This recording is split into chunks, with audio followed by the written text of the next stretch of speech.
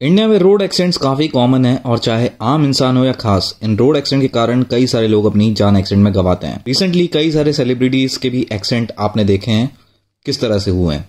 Accident के multiple reason होते हैं, जैसे कि लोग का ओवर स्पीडिंग करना ट्रक बस वगैरह को ओवरलोडेड चलाना और ड्रिंक एंड ड्राइव करना। और इन एक्सीडेंट्स में डेथ के रीजन बनते हैं, कार में सीट बेल्ट का ना पहनना बाइक वगैरह में हेलमेट का इस्तेमाल ना करना, या फिर एक अनसेफ कार का चुनाव भी कई बार एक्सीडेंट में डेथ का रीजन बनता है। अक्सर सबसे बड़ा खतरा ओवर स्पीडिंग ट्रक वगैरह से बना रहता है। आज रोड एक्सीडेंट में एक और पर्सन जो रातों रात इंटरनेट सेंसेशन बन गए थे और जिनका दिल से बुरा लगता है वीडियो इतना वायरल हुआ था कि इसके बाद उन्होंने कई सारी वेब सीरीज़ में भी काम किया था और भुवन बाम के साथ भी वो रिसेंटली काम कर चुके हैं। और उनकी अनफॉर्चुनेटली काफ़ी कम एज में रोड एक्सीडेंट में डेथ हो गई। भगवान उनकी आत्मा को शांति दे। तो देवराज पटेल अपने एक दोस्त के साथ बाइक पर रायपुर के लंबादी की तरफ़ जा रहे थे। और तभी पीछे से एक ट्रक ने उनकी बाइक को हिट किया। देवराज बाइक पर पीछे सीट पर बैठे हुए थे और टक्कर के बाद उनकी डेथ हो गई और उनके दोस्त को कुछ इंजरीज आई।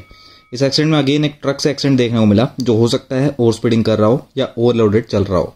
दूसरा यहाँ देवराज द्वारा हेलमेट का इस्तेमाल किया गया था कि नहीं, इसकी जानकारी नहीं है। पर ऐसे कई एक्सीडेंट आए दिन होते हैं और रोज 500 से भी ज़्यादा लोग सड़क हादसे में अपनी जान गंवाते हैं। इनका रीजन कई बार ये होता है कि बाइक में हेलमेट का इस्तेमाल नहीं किया गया था।